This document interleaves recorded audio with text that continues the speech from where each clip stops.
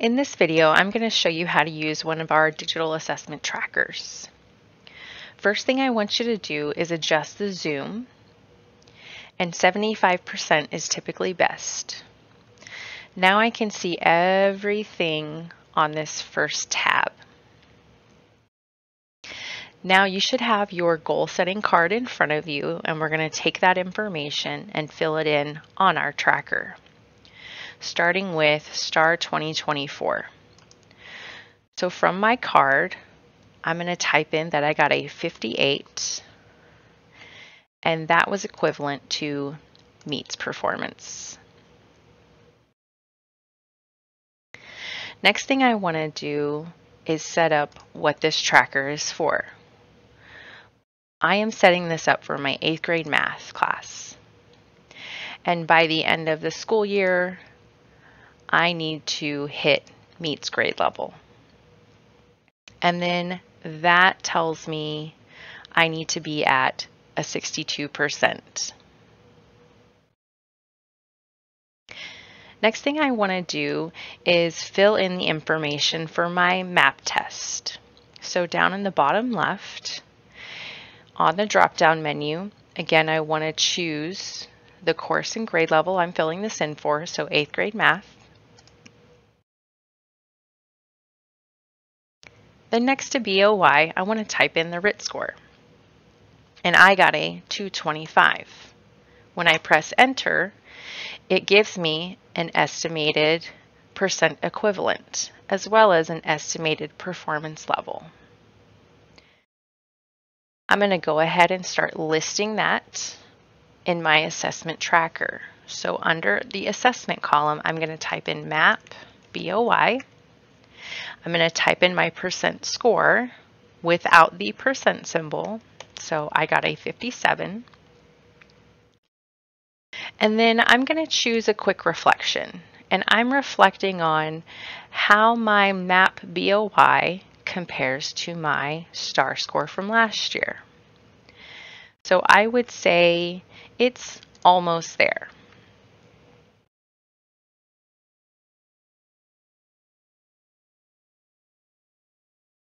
Okay, next thing I want to do is set up my tracker for my first unit assessment. So I'm going to type in under the assessment column, unit 1.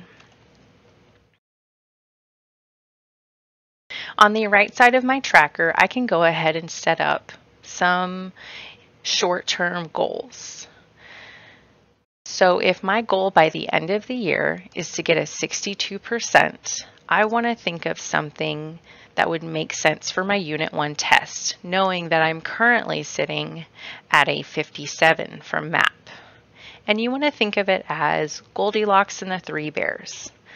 Something that's not too high or not too low, but just right. So for my Unit 1 test, I'm going to give myself a goal of a 60.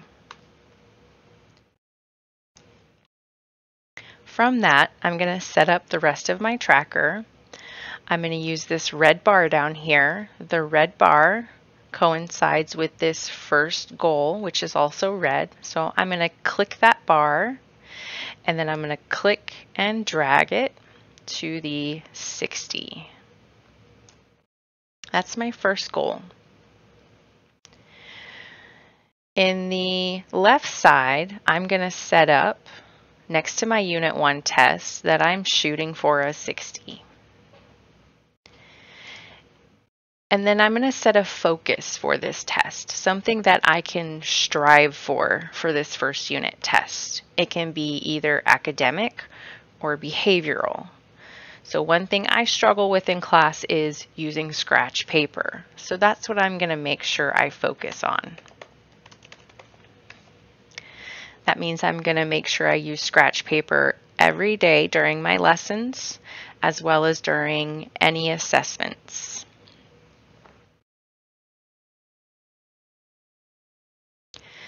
Okay, we're going to fast forward and we have taken our Unit 1 assessment. So what we're going to do is log back into Aware.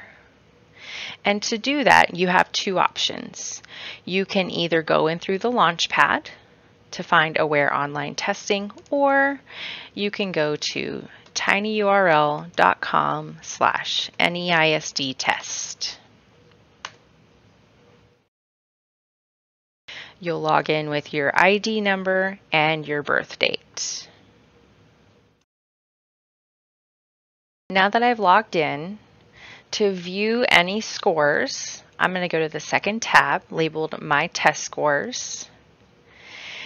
And one thing you may want to start using is this drop-down menu to filter by subject. I'm going to go to the test I just took. This one is called Student Goal Setting and I'm going to take a look. It tells me the percent score I got. I got a 63. So I'm going to take that information and I'm going to type it in my tracker. So I got a 63. Because I hit my goal, it turned green. I'm going to do my quick reflection and say I met my goal. And then before I go further into Aware, I want to click this button called Rename Sheets. The first time you do it, it's going to ask for authorization. You're going to select your Google account and you're going to tell it to allow. Because I had to give it authorization, I'm going to click the button one more time. And then I want you to notice here at the bottom, the names of those sheets are going to adjust. And they adjust based upon what you type in this assessment column. So I'm going to go to my Unit 1 tab, because that's what we're focusing on.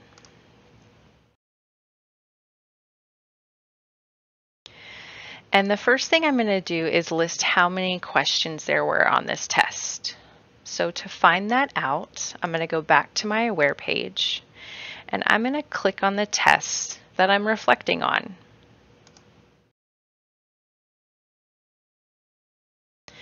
So this test had eight questions.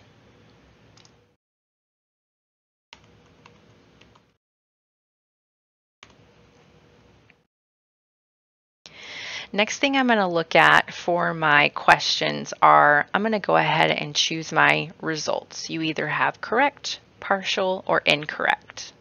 So let's go take a look. It gives you a key at the top. So I've got correct on 1, 2, 3, 7, 8.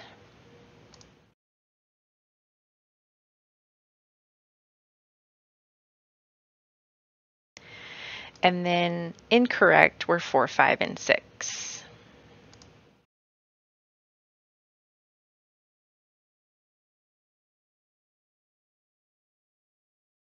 Okay, I'm going to start with question 1. And another thing I want to fill in in my tracker is my confidence rating. So when I was taking the test, I felt very confident and I said, I got it.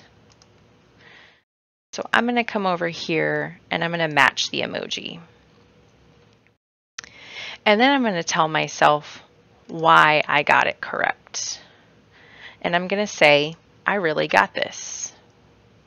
Because I got it correct, I'm not going to worry about what would my new answer be and why. Number two, I'm going to go check my confidence rating. So I'm going to go to number two Again, my confidence was I got it. And I, I know this stuff. So let's go to the ones I got incorrect, like number four. Number four, first off, my confidence rating was I'm still learning. So I'm in the middle for number four. So then let's look at, well, why did I get it incorrect? So I'm going to review the passage that I needed to read and then the question. So it asks me, what is the meaning of the phrase, have the knack? I chose a spin. So I'm going to review this and rethink, well, what should it have been? And once I know the answer, I'm going to first say, well, I maybe I didn't understand some of the words. And I'm going to say, my new answer is blank because blank. And then I'm going to complete that for the rest of my questions. Now my teacher told me the essentials on this one were 3, 7, and 8. So down at the bottom, it asks me, how did I perform on those essentials? I did pretty well on those essentials. And I'm going to explain. I really knew what the essential questions were asking. I'm ready for more. Next thing, I'm going to fill out my resources. My resources I used and found helpful. My resources I did not use and no longer need. So I'm going to talk about some of the resources I used and found helpful. I used my scratch paper and will continue using it because I met my goal.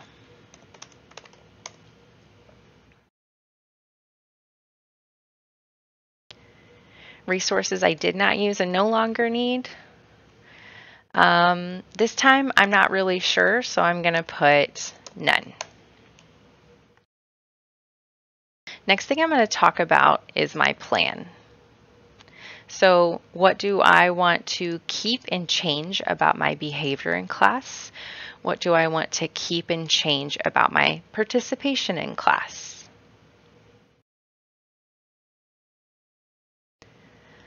Next, I want to talk about the environment. So these two drop-down menus have the exact same thing, but you have two things you can choose if you'd like. So maybe the room was too cold or too warm. It was too cold. Next time I need to bring a sweater. And then what is it I need to work on? Well, based upon my results, I need to work on these questions that were labeled as non-essential.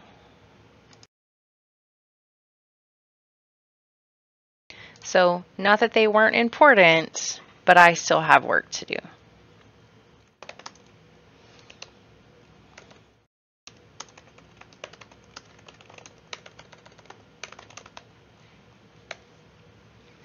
So can I do this by myself? Mm, maybe so. And then I didn't put no here. So have I reached my goal? If so, how do I know? And should I adjust my goal? I did reach my goal. And I will adjust it higher. So because I reached my goal, I'm going to go back to my data page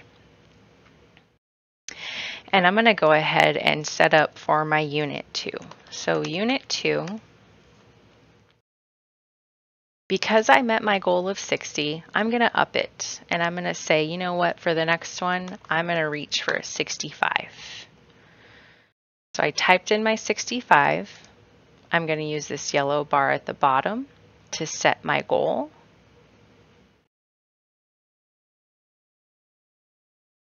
Over here on the left, I'm going to choose 65. And then my focus for this test is I'm going to ask questions during class. Okay, and this is how you use your data tracker.